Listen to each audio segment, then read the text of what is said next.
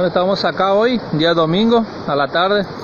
Venimos a Arroyo Uruguay, que hace divisa con el parque. Venimos a bañarnos con, con la familia que están todos allá. Y ahí llegamos acá y nos encontramos con eso. El agua no se puede entrar. Está con un olor feísimo. Fíjense acá el motivo. Todos los peces que hay. Miren acá, las bogas. Todas las bogas están todas muertas. Ayer estuvimos acá, también por la tarde, y ahí no, o sea, el día de ayer no había nada. Esto acá como mínimo es acción de, de agroquímicos que desparraman más, eh, más para arriba, ¿no? Eh, como es costumbre de, de, la empresa Arauco de pasar eh, herbicida y todo más en sus plantaciones de pino, eso acá como mínimas consecuencias de eso. Por todos lados está lleno, el río está tomado de peces que están muertos, el olor, olor es insoportable, no hay, no hay forma de entrar al agua, nosotros entramos allá abajo, ahí cerca del puente y, cuando entramos al agua ya sentimos el olor, es fuertísimo.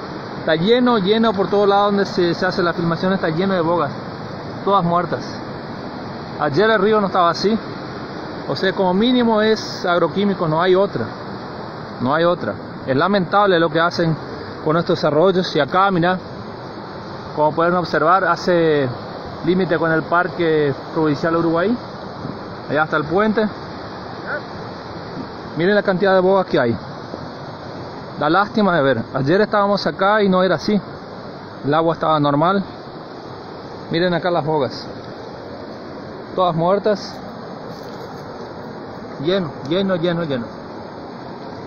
Ojalá que ecología o al, algún otro otra organización o algo eh, tomen nota de esto ¿no? y vengan a, a verificar por qué está pasando eso.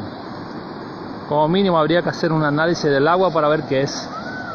Falta de oxígeno no debe ser porque para arriba llovió tranquilamente, o sea, llovió bastante. Hace unas 4 o 5 días llovió mucho. Ayer el nivel del arroyo estaba bastante alto en comparación a hoy. Pero esta acá es seguramente es por agroquímicos que habrán echado en un arroyo para arriba y en el día de hoy está llegando hasta acá. Es lamentable. Ojalá nuestras autoridades tomen nota de esto y tomen también una actitud, ¿no?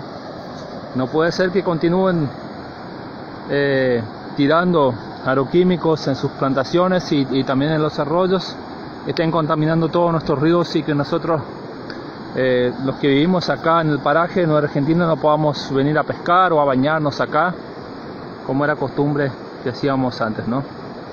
Ojalá tomen nota y hagan algo.